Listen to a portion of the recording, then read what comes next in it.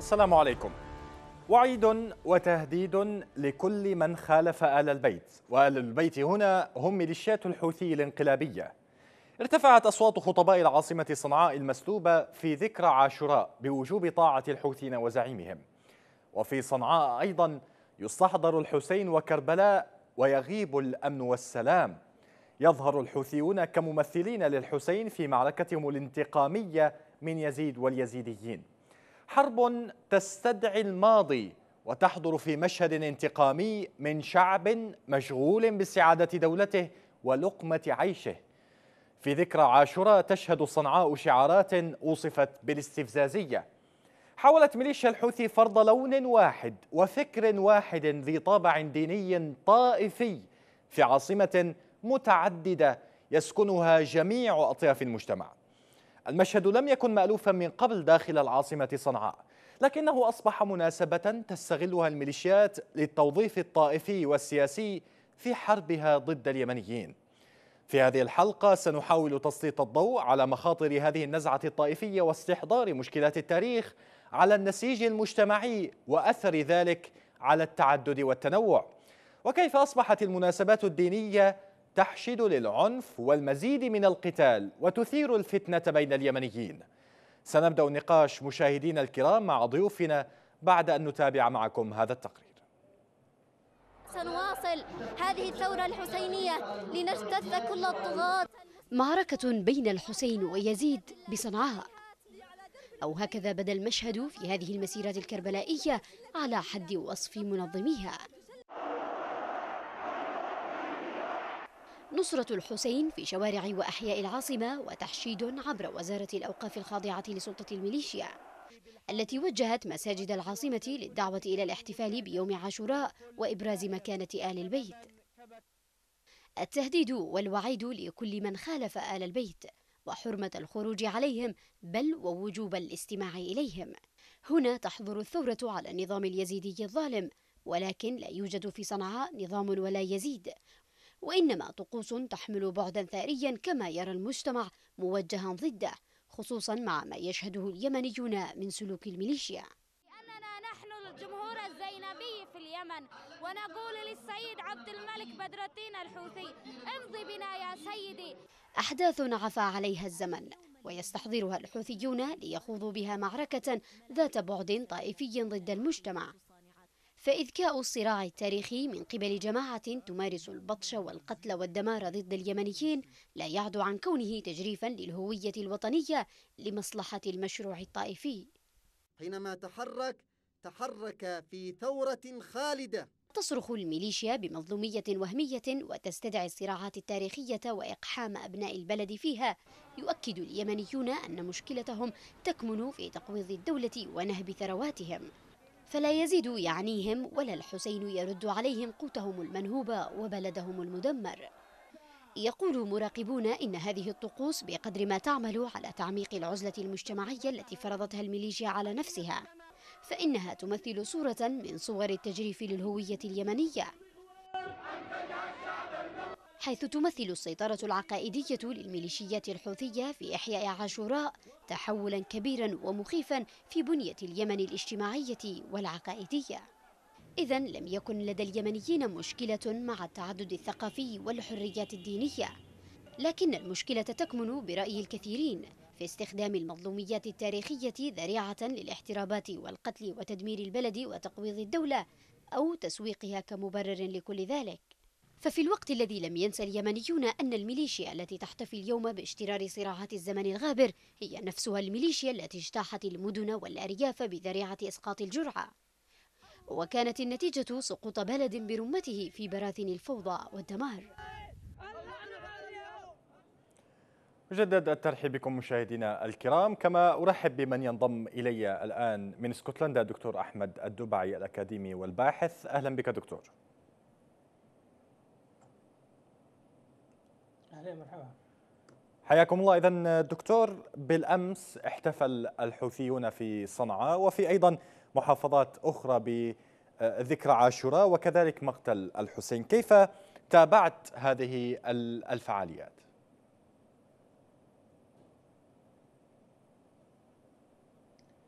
بداية تحية لك وللسادة المشاهدين.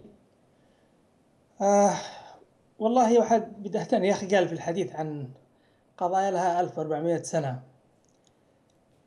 في بلد متخم بالجراحات آه استوطنت فيه الآن الكوليرا والصراعات والحروب وما إلى ذلك. ثم نتحدث عن معارك يزيد والحسين. نظرت إلى ما يحدث في صنعاء إلى نوع من اللوثة العقلية يحصل تقوم به حركة الحوثي.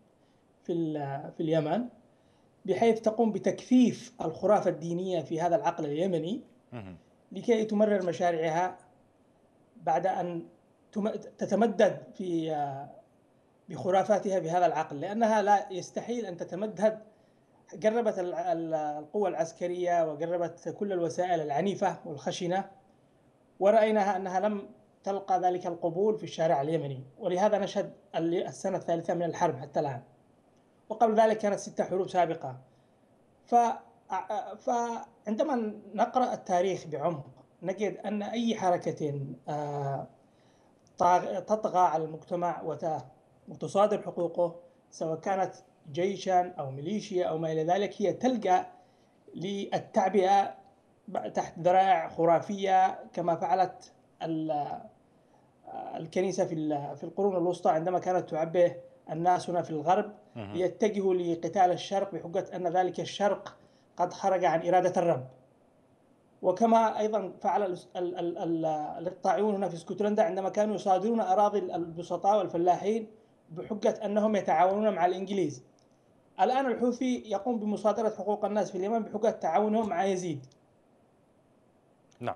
فنحن أمام واقع تراجيدي مؤسف أننا نتحدث عن هكذا أحداث حدثت قبل 1400 سنة لا علاقة للإنسان اليمني بها من قريب أو بعيد. يعني الجميع الآن يتابع ويلاحظ هذا الطابع الطائفي بالنسبة للشعارات التي يرفعها الحوثيون في هذه التجمعات وغيرها أيضا. هذا الاستدعاء مثلا لمظلومية الحسين في الحديث عن أنهم يقومون أيضا أو يواجهون ذات المظلومية وأنهم بحاجة لثورة مماثلة لما قام به الحسين وبالمقابل يقولون أن من يواجهونه هو هو يزيد العصر كما يقولون في الكثير من التقارير التي تبثها قنواتهم ويتحدثون عن أنه الملك سلمان مثلا أو ما شابه وأنهم يواجهون الاس يعني الاستكبار الحالي في في الأرض. هذا الاستدعاء الطائفي والاستدعاءات التاريخية إلى أين يمكن أن توصلنا برأيك؟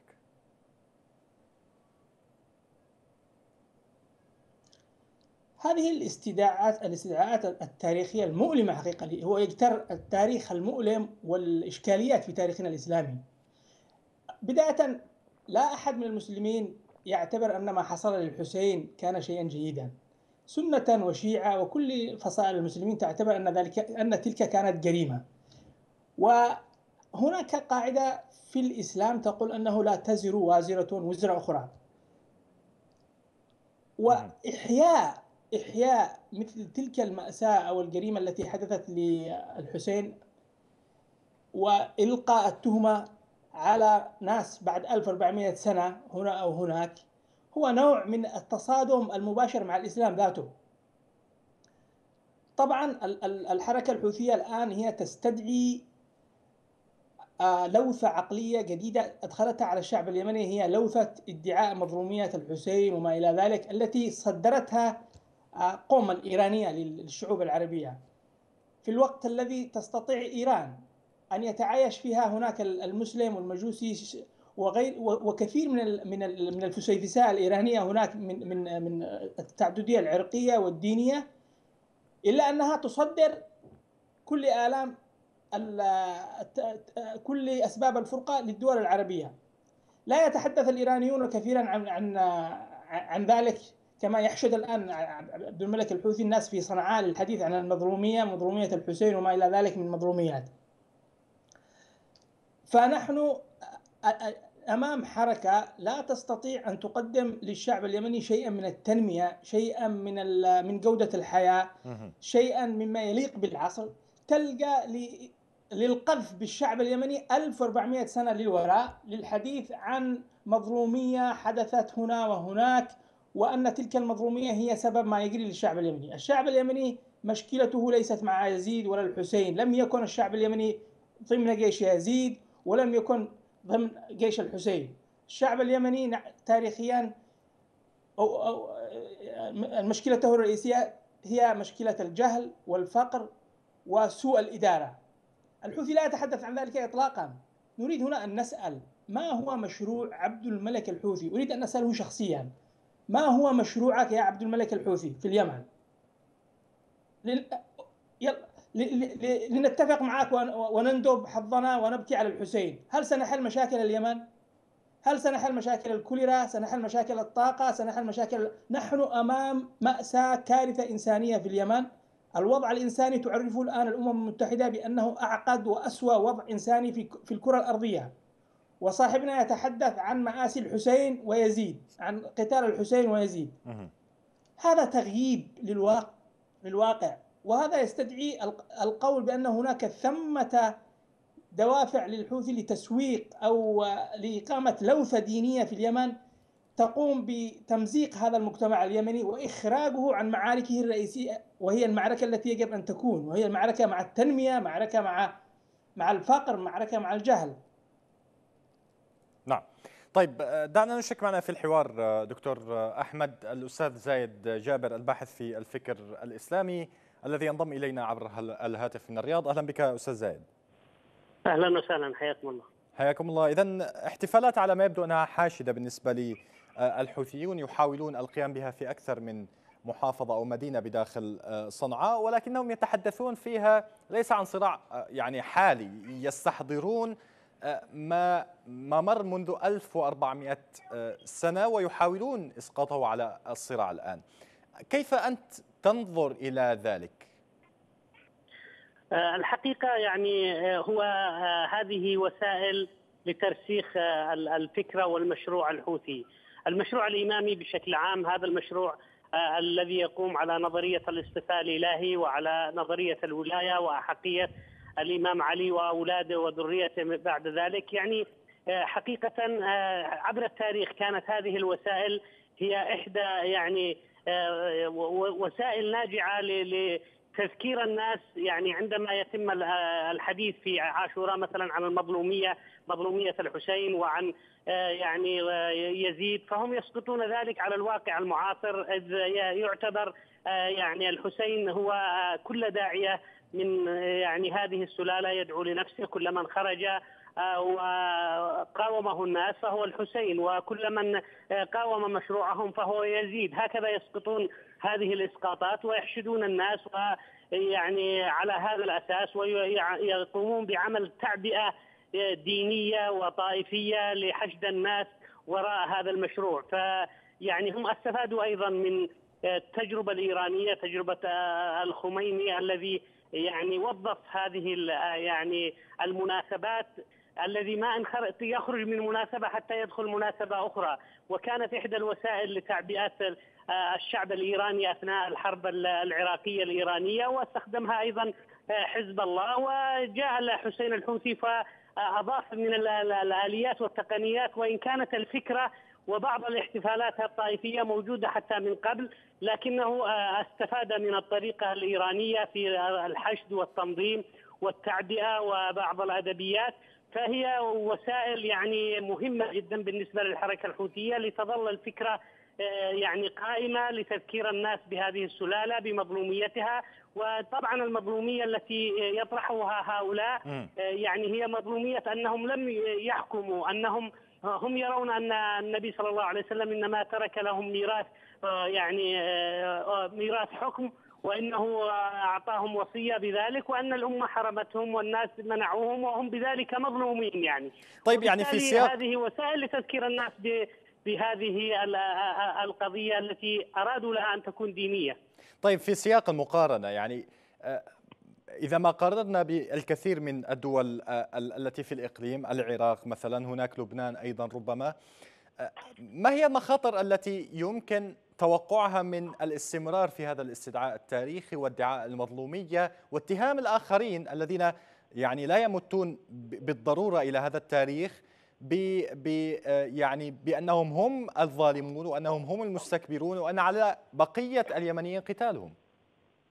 يعني الخطورة هنا أن هذه المناسبات لا تتم يعني كحدث تاريخي آه، قضى وانتهى، يعني أعتقد آه، ليس هناك أحد اليوم آه، له خصومة مع الحسين أو مع الامام علي أو أي ممن قضوا قبل قرون من الزمن. الخطورة هنا أنه يتم تحميل المعاصرين ممن يعارض أصحاب هذه هذا الفكر أو أصحاب هذه الرغبة بالهيمنة يعني واسقاط يعني الحدث التاريخي على هؤلاء وبالتالي يتم شحن هؤلاء بحقد كبير يعني والنتائج ماثله للعيان الجرائم الكبيرة التي ترتكب سواء في العراق أو حتى في في اليمن.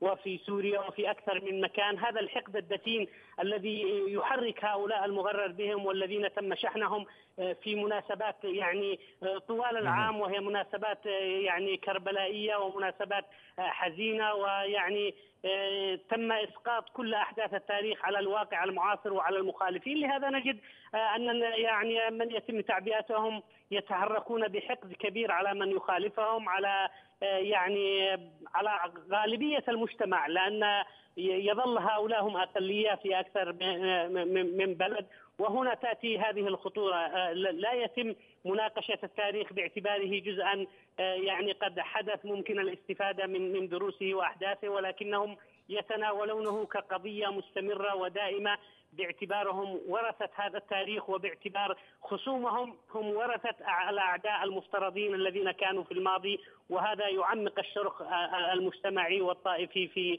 كل المجتمعات التي يتحركون فيها. طيب أرجو أن تتفضل بالبقاء معنا أستاذ زايد. أعود إلى دكتور أحمد الدبعي الأكاديمي والباحث دكتور أحمد الآن عندما يعني نرى هذا الاستدعاء ونرى هذا التحشيد وهذه التوعية المستمرة بالنسبة لمن يحضرون في هذه الفعاليات وحتى شاهدنا في التقارير أحاديث لأناس آه، يعني ربما قد آمنوا بالفعل بهذه الأفكار على الأقل كما يظهر. هذا الأمر يتحدث كثيرون على أنه قد يعطي ألغاما مستقبلية بالنسبة لليمن التي كانت متنوعة ليست ذات طابع مذهبي واحد أو لون فكري واحد إذا ما تحدثنا عن المخاطر المستقبلية برأيك أين تتلخص أو أين تتركز؟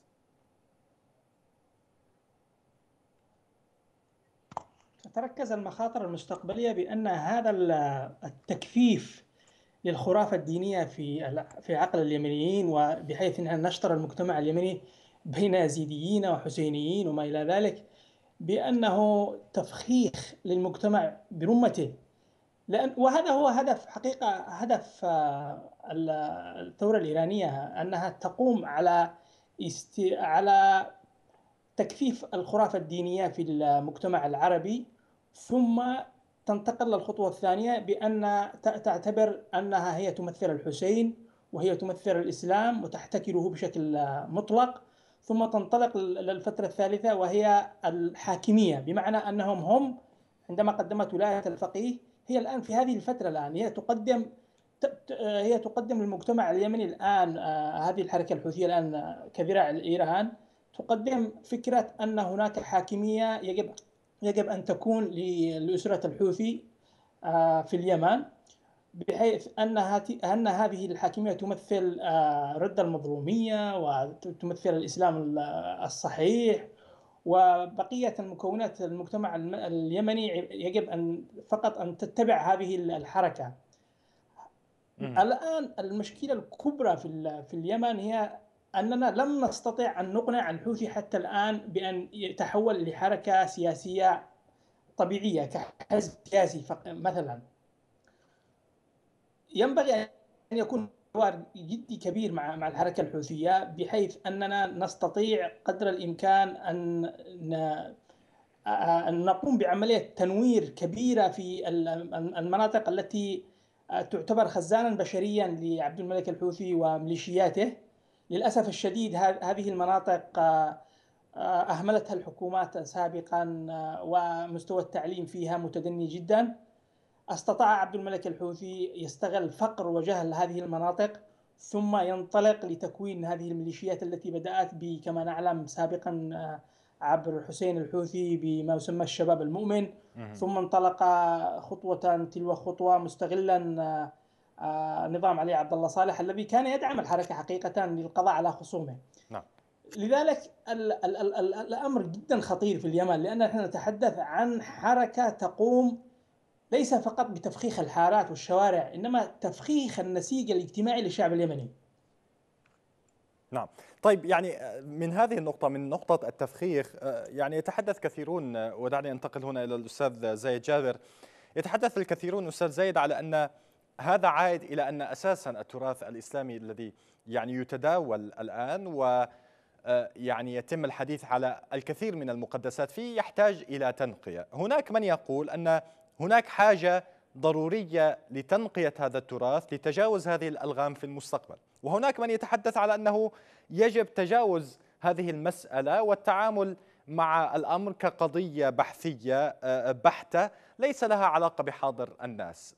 كيف يمكن التعامل مع هذه المسألة برأيك؟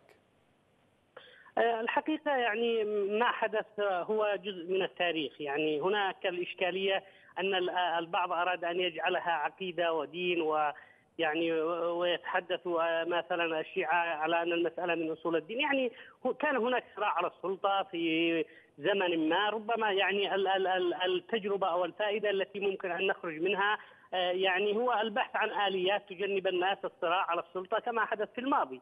يعني آه، هي أمر آه، لكن أدعياء الحق الإلهي أرادوا أن يجعلوا من ذلك دينا وأرادوا أن يستغلوا هذه القضية وأن يعني يجعلوها مستمرة حتى اليوم.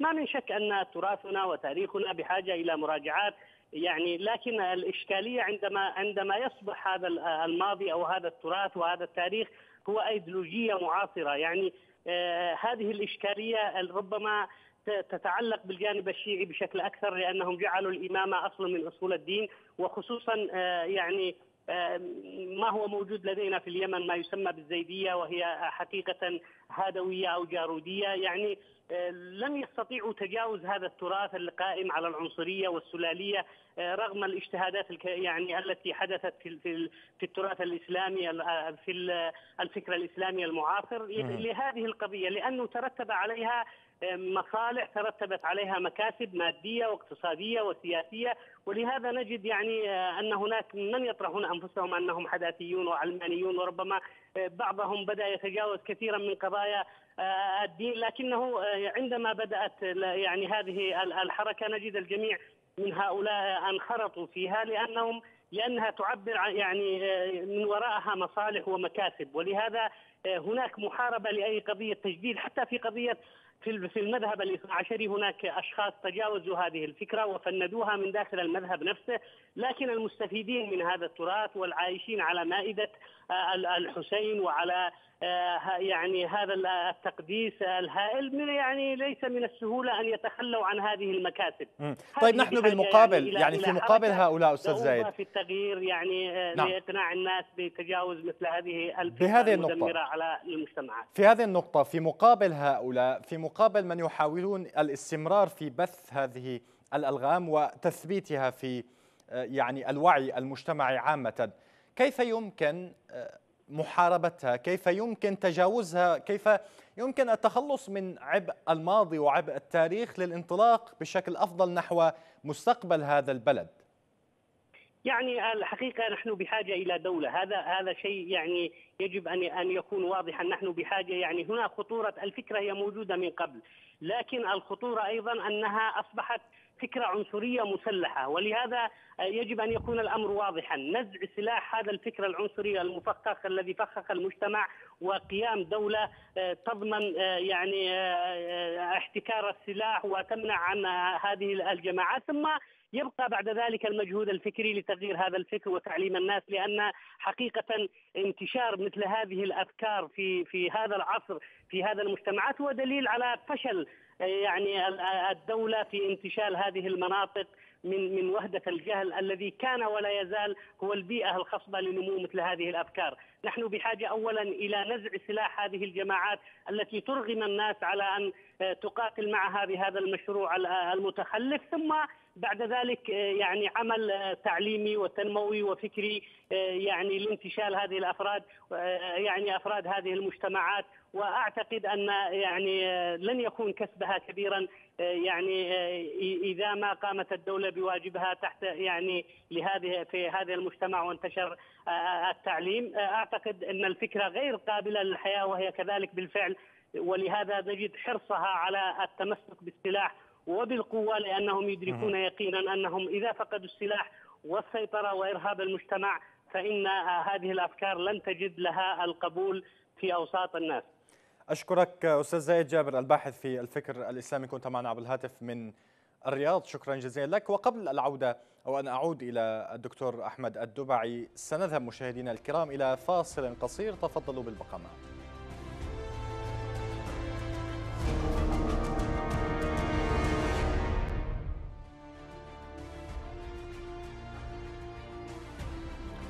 أجدد الترحيب بكم مشاهدينا الكرام في هذه الحلقة من المساء اليمني. كما أجدد الترحيب أيضا بضيفي عبر السكايب دكتور أحمد الدبعي الباحث والأكاديمي. دكتور أحمد يعني بالتزامن مع هذه الفعاليات التي يقيمها الحوثيون هناك إضراب للمعلمين آه، أو ما يبدو أنه إضراب للمعلمين في المدارس في صنعاء وكذلك توقف لصرف هذه الرواتب من قبل المسيطرين على آه، آه، يعني زمام السلطة في العاصمة المحتلة إن صح التعبير.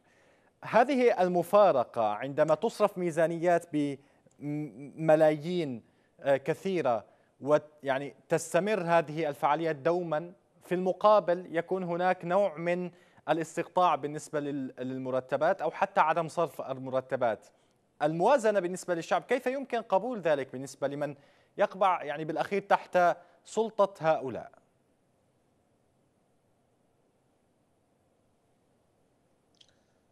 هو الوضع في اليمن مقلوب بشكل يعني كلمة مقلوب حتى قليلة فيه. نحن نتحدث عن ميليشيا اغتصبت السلطة في صنعاء واحتلت تحت ذراع واحتلت البلد بشكل عام تحت ذراع متعددة وهي. ماذا تتوقع من هكذا ميليشيا؟ الميليشيا الآن هي في وضع أيضا هي تعرف في قرارات نفسها أن فشل أنها فشلت في مشروعها. هي اختطفت سلاح الدولة واختطفت البنك المركزي وموارد البلد. ثم ذهبت في مغامرة آه، حمقى للاستيلاء على كل مقدرات البلد وإرهاب الشعب اليمني لتتفاجأ بعد كل هذه المأساة وكل هذه الشهور والسنوات الآن أنها فشلت في تحقيق ذلك. الآن هي تحاول أن تقوم كما قلت سابقا بتكوين أكبر لوثة دينية في في في في العقل والوجدان الشعب اليمني بحيث أنها تستطيع أن تمرر قبول الحركة الحوثية من الناحية الدينية. أن تأتي لنا بغلاف ديني مقدس لا يجعلنا نتساءل البتة حول هذه الحركة نسلم عقولنا تماما لعبد الملك الحوثي كقطيع من الأغنام ليسوقنا إلى الهاوية. الآن كما قلت معنا مدارس تعاني من آه، الإمكانية من قلة الإمكانيات. المدرس المدرسون في في مدارس اليمن لا يتقاضون رواتب. وهناك آه، القمامات في الشوارع صنع حتى صنعاء نفسها تعاني من الكوليرا وتعاني من قلة الأدوية وتعاني من آه، أساسيات الحياة الضرورية. ثم بعد ذلك كله نتحدث عن ملايين تصرف على عاشوراء وعلى ميزانية وعلى بكائيات الحسين وعلى الانتقام من يزيد. أنا أنا إذا إذا قلت هذا الكلام لاسكتلندي هنا أو لبريطاني سيقول هؤلاء أنتم مجتمع مجنون. كيف نرى احتفالات في بلد أنهكته الكوليرا وأنهكه الفقر والعوز وأصبح في وضع مأساوي؟ رئيس الجمهورية خارج البلد والميليشيات اختطفت السلطة ثم نرى احتفالاته في الشوارع على ماذا؟ على على بكائيات وعلى على الحسين وعلى مظلومية آل البيت وحقهم في السلطة. إذا لا نستغرب باختصار مفيد لا لا نستغرب من هذه الميليشيات أن تقوم بهذه أصلا الأعمال لأنها هي ضد المنطق هو وجودها أصلا ضد المنطق حركة الحوثي هي ضد المنطق في القرن الواحد والعشرين في عصر الإنترنت الأشياء نتحدث عن غلام قادم من صنعاء من صعدة يتجه إلى صنعاء بصك إلهي لحكم الجمهورية اليمنية. أنا عندما أطرح هكذا وضع على أي عقل سوي سواء في الأرجنتين أو في اليابان أو في ألاسكا سيقول هذا شيء من الجنون في هذا أي عقلية كيف تربى هذا هذا عبد الملك الحوثي على هكذا فكر أصلا. فكر كما قلت في مقدمه حتى في مقدمتك قبل قليل حتى ناس من من أصحاب المذهب الشيعي كما محمد فضل الله رحمه الله في لبنان محمد حسن فضل الله ناقض فكرة آه، ولاية الفقيه وأحقية آه، أهل البيت في الحكم وما إلى ذلك وهو شيعي. فنحن أمام ترهات ترهات عقلية لوثة عقلية لا أقل ولا أكثر. طيب يعني الآن عندما يعني نريد الخروج يعني بحل لتوعية الناس في هذه المناطق التي تخضع بالأخير لسيطرة الحوثيين الانقلابيين عموما وهي تواجه خطابا آه، آه، يعني واحدا أو تواجه نمطا واحدا من الطائفية والمذهبية، كيف يمكن؟ ونحن نتعامل مع شريحة قد لا تكون متعلمة بذلك الشكل وقد تكون فقيرة ولا تستطيع الوصول إلى هذه الأخبار التي آه، آه، يعني تعنى بالحداثة وتعنى بأين وصل الناس كيف يمكن آه، إخراجهم من هذا المأزق؟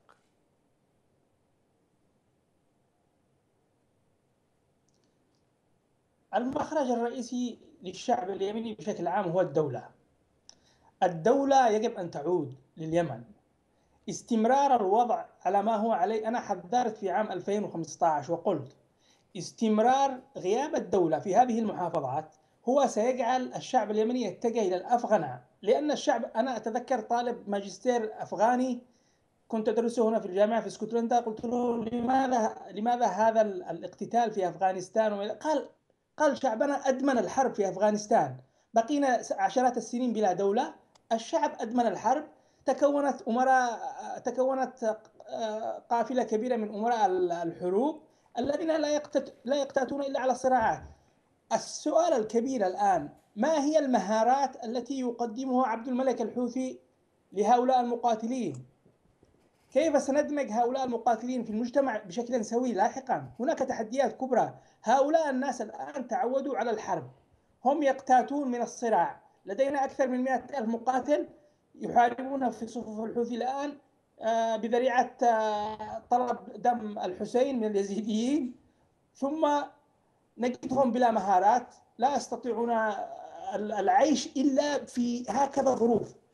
هذا التحدي الآن تحدي كبير بالنسبة حتى لعبد الملك الحوثي. لذلك هو يستمر في توليد الصراعات.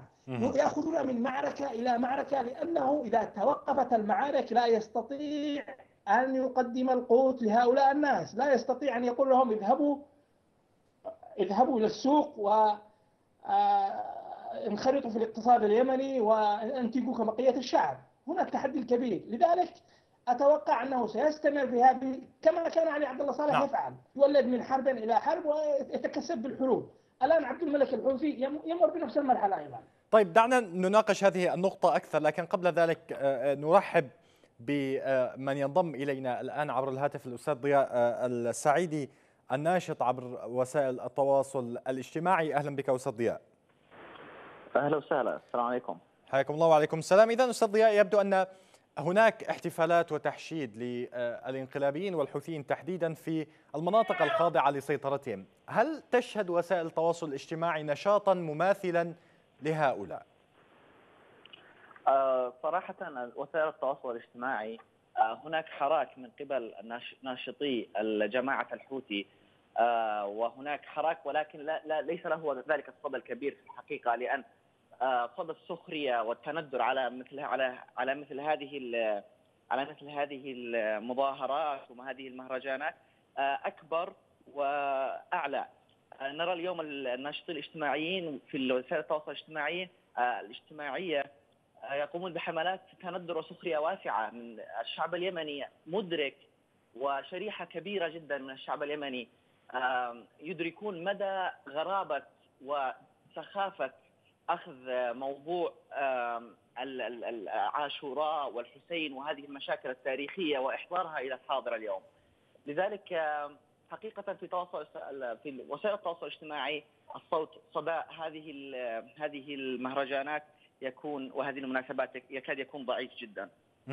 طيب يعني بمتابعتك هل يمكن الاعتماد على وسائل التواصل الاجتماعي لإحداث نوع من الاختراق لمن يعني للجبهة التي يستهدفها الحوثيون في هذه الفعاليات والتي يعني يكادون في صنعاء يشكلون وكأنها سجن يعني مكان سهل لهم لبث الوعي أو بث الفكرة وبث التحشيد الطائفي والمذهبي هل يمكن استخدام وسائل التواصل الاجتماعي كمنفذ لتعديل هذه الأفكار؟ في الحقيقة وسائل التواصل الاجتماعي لها دور ولكن ليس ذلك الدور الكبير في صناعة آه، في صناعة الرأي العام وتوجيه الآراء الشخصية للناس. آه، هناك دراسات كبيرة هنا في أمريكا أقيمت تتحدث عن آه، مدى تأثير وسائل التواصل الاجتماعي على رأي المواطن في الترشيح يعني أو في في قضية كانت القضية متناوله الانتخابات الأمريكية. وجدت النسبة بسيطة جدا لا تكاد تتعدى ال 10% ولكن ال 10% إذا استطعنا أن ننقذ شخص أو شخصين آه، أعتبرنا إنجاز عظيم لأنه آه، الناس هؤلاء يتم تعبئتهم على مدى طويل وتعبئة مكثفة من قبل آه، من قبل على أرض الواقع من قبل الميليشيا. فإذا استطعنا أن نصل أن نوصل أصواتنا إلى الناس عن طريق وسائل التواصل الاجتماعي ولو ولو شريحة بسيطة واستطعنا إنقاذ ما يمكن إنقاذه هذا يعتبر إنجاز عظيم جدا. آه الحقيقة أعتقد أن يجب أن يكون هناك آه حملة مضادة ممولة من قبل الحكومة من قبل جهات آه حكومية لمواجهة مثل هذه لمواجهة مثل هذه آه، الحملات والبروباغندا التي تقوم بها الميليشيا. آه، المواطن اليوم آه، نحن نحن نقف حقيقة أمام آه، حملات إعلامية ممنهجة تهدف التي يقوم بها الحوثي هي بروباغندا طائفية تسعى بكل أنواع الوسائل لبث روح الفرقة والطائفية في المجتمع اليمني اليمني. ومثل هذه الحملات الممنهجة لا يتم مواجهتها إلا بحملات أخرى ممنهجة ممولة من قبل جهات حكومية. يعني آه، هذه الحملات لو دخلنا في تفاصيل أكثر، كيف يمكن عمل مثل هكذا آه، حملات؟ وهل من نماذج أخرى أو نماذج سابقة حصلت وح يعني أحدثت نوع من التغيير في يعني وجهات النظر في نحو رأي ما أو موضوع ما؟ في الحقيقة الموضوع هناك ركود آه، للأسف ركود في في الوضع أو الموقف في وضع الحرب في اليمن حاليا. هذا الركود كما كما أسلف الأستاذ أحمد آه، سابقا يؤدي إلى آه، تفاقم المشكلة وتشظي المشكلة وتشظي الفرقة أكثر. ما يجب عمله الآن هو الحملات التي يجب أن تدار يجب أن تدار داخليا وخارجيا على المستوى الإعلان المسموع المرئي آه، عن طريق آه، محاولة اختراق اختراق الأرض الواقع وإيجاد حملات توعوية ولو سرية ولو بطريقة آه، يعني تتحاشى وتتجنب المواجهة المواجهة الميليشية راسا. ولكن يجب أن يصل صوت الوعي إلى المواطن في الشارع. ليس فقط عن طريق وسائل التواصل الاجتماعي ولكن يجب أن يصل عن طريق حملات توعوية داخلية يكون تكون ممولة وموجهة ومخطط لها. طيب برأيك كيف يمكن إيصال الصوت لأولئك الناس الذين يعني هم في جبهات آه، آه، آه، القتال بالنسبة لي يعني طرف الحوثيين؟ من يؤمن بذلك الشكل الذي يستعد لقتال من أجل فكرة معينة وإن كانت خاطئة؟ يعني هو مستعد للموت من أجل عبد الملك الحوثي مثلا وإن كان على خطأ وإن كان وإن رأى فيه خطا حتى. هؤلاء صراحة آه يا أخي من نعم. ذهب من ذهب إلى من ذهب إلى الجبهة ومن آه قد بذل نفسه وماله وكل ما يملك في سبيل عبد الملك الحوثي وفي سبيل آه هذه الشعارات الوهمية. يكاد يكاد يكون من المستحيل تغيير رأي هؤلاء الناس في الجبهات. ولكن أنت تعمل على العامة العامة الذي هم الذي يختبر خلفهم عبد الملك الحوثي يختبر خلفهم الميليشيا. العامة في شوارع صنعاء العامة في شوارع المحافظات التي تسيطر عليها الميليشيا. هو ما يجب أن يصل صوتنا إليهم. أما أما الميليشيا والمقاتلين في الجبهات هؤلاء أناس تم غسل دماغهم تماما. يعني هؤلاء ناس كما يقول إيريك هوفر في كتاب المؤمن الصادق تخلوا عن عن كيانهم ووهبوا كل كل ما يملكون للكيان الذي الذي الذي يتبعونه وهو الجماعة الجماهيرية أو الميليشيا التي يتبعونها. لذلك الهدف يجب أن يكون المواطن العامي الإنسان البسيط الذي لا يجد ما يأكل في صنعاء الذي لا يجد ما آه، ما يشرب الذي لا يجد فيها الصحة ولا الخدمات العامة. آه، هذا هو هذه هي الفئة المستهدفة. أما المقاتلين فلا أعتقد أن يكون أن أن أنه في الإمكان آه، لهم أو إيصال صوت لهم. أشكرك أستاذ ضياء السعيدي الناشط على وسائل التواصل الاجتماعي. كنت معنا عبر الهاتف من الولايات المتحدة الأمريكية وبالعودة إلى الدكتور أحمد الدبعي. دكتور كنت تتحدث أنت على أنه يعني في حال يعني تمت نوع أو فكرة أنه إذا تم نوع من التسوية السياسية معينة أو تمت يعني الوصول إلى مصالحة معينة مع ميليشيات الحوثي أو اتفاق معين معهم وظل يعني التحشيد العقائدي على ما هو عليه بالنسبة إليهم. هذا الأمر سيشكل عبئا ومشكلة في المستقبل. كيف يمكن لنناقش كيف يمكن حل هذه آه، آه، الإشكالية من الآن حتى آه، يعني حتى يعني نتجنب مشاكل كثيرة سواء حاضر أو على مستوى المستقبل أيضا؟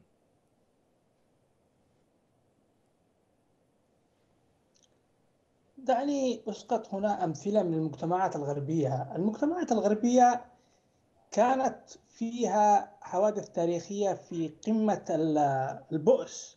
تحارب الناس هنا في في الغرب بالفؤوس وتحاربوا بشكل آه، شرس في الماضي وتحاربوا وأبادوا بعضهم. حتى حتى بداية الحرب العالمية الثانية هناك والأولى والثانية هناك حصاد عشرات الملايين. لكن هؤلاء الناس بعد ذلك أستطاعوا أن يجعلوا من التاريخ دروس مجرد دروس يستقوا منها العباد. ثم قاموا بتشكيل دول. الدولة تشكلت في الغرب بشكل حديث. أستطاع أن يقيم علاقة فاصلة مع ذلك البؤس السابق انفصال تام. الحرمات العنصرية. تصورنا هنا في اسكتلندا إذا قال لي اسكتلندي أنت يمني لا يحق لك أن تعمل؟ الاسكتلندي سيذهب للسجن. حتى آه، في في في في الدساتير الدول هنا كما قلت الطائفية المناطقية التمييز العرقي كل ذا أو أو من يدعي الاحتكار السلطة بصك الإلهي أو ما إلى ذلك اعتبر جريمة. نحن نحتاج في اليمن لمصالحة وطنية وثم نحتاج إلى آه، تنظيف الذاكرة اليمنية من هذا الهراء ومن هذه الخزعبلات وهذه الخرافات إلى الأبد. نعم. حتى ننطلق للمستقبل لا يمكن أن نتجه للمستقبل والذاكرة اليمنية ممتلئة بالثقوب وممتلئة بالخرافات والخزعبلات التاريخية نعم. نحن نحتاج إلى دستور يمني يحرم السلالي التفوق السلالي وادعاء احتكار السلطة بحق أو بصك إلهي أو ما إلى ذلك. نحتاج إلى دولة إلى قانون. الإنسان ينضبط. اليمني لو خرج من صنعاء وعاش في أمريكا سينضبط. نعم سينضبط. الإنسان اليمني يحب المؤسسات إذا وجدت لكن غياب الدولة هو ألقى بظلاله على الواقع وأصبحت كل تجليات ما يحدث في اليمن الآن هو غياب الوعي وغياب التنوير وغياب التعليم الحقيقي في المجتمع اليمني. أستطاع الحوثي الآن أن يحشد مئات الالاف تحت ذرائع متعددة. لو كان الشعب نعم. اليمني قد حصل على حقه من التعليم والتنوير لما لما لبقي الحوثي في كهفه. إذا هي المعركة معركة استعادة الدولة وإيجاد هذه المؤسسات التي تضمن عدم استعلاء أحد على آخر وعدم التمييز العنصري والمناطقي والطائفي إلى آخره. إذا أشكرك دكتور أحمد الدباعي آه، الأكاديمي والباحث كنت معنا عبر سكايب من اسكتلندا كما هو الشكر موصول لجميع المشاهدين الكرام ولجميع الضيوف الذين كانوا معنا أيضا. في ختام هذه الحلقة تقبلوا تحياتي أنا وجيه سمان والزملاء أسامة القطيبي ومنصور النقاش وبقية أفراد الطاقم الفني. إلى اللقاء.